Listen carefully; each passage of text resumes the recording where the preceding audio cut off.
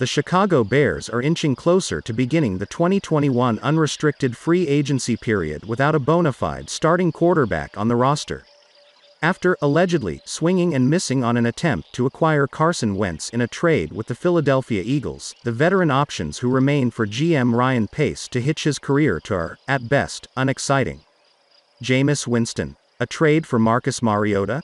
Swing for the fences with Sam Darnold? While it's not something Bears fans want to admit, Chicago might be better off rolling with Nick Foles for another season than acquiring any of those players, all of whom have warts in their game.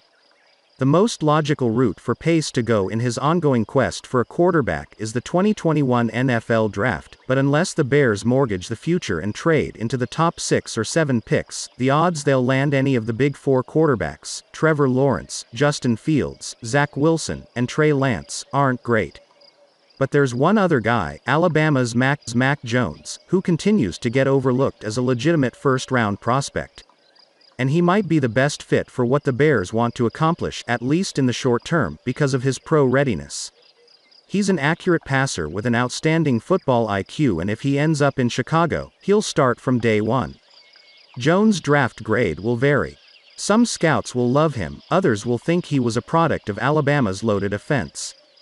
But if you put faith in what NFL coaches have to say, especially an offensive guru who's coached the likes of Tom Brady, then Jones should be high on your wish list. Former Patriots offensive coordinator Charlie Weis had some glowing remarks for Jones in a recent interview with ESPN's Mike Reiss. He compared Jones to Drew Brees.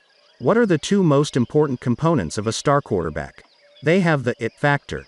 And they're accurate. That's who Jones was, Weis said. If you're looking for a guy that's going to be running for 30 yards on a regular basis, that's not your guy.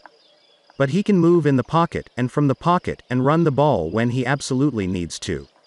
When you talk about Trevor Lawrence, what makes him so special is that he can do everything Mac Jones can and he's athletic. Justin Fields, really good player. Zach Wilson, really good player. The kid from North Dakota State, Trey Lance, really good player. But this guy, Jones, he's the one making all the plays. All he does is win and throw completions. At this point, the Bears can't afford to pass on a player like Jones, or any of the top quarterbacks should one happen to fall to them.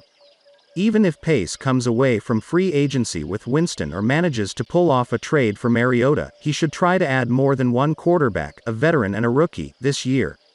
The Bears could do a lot worse than Jones as a first round pick, assuming he even lasts until number 20 overall.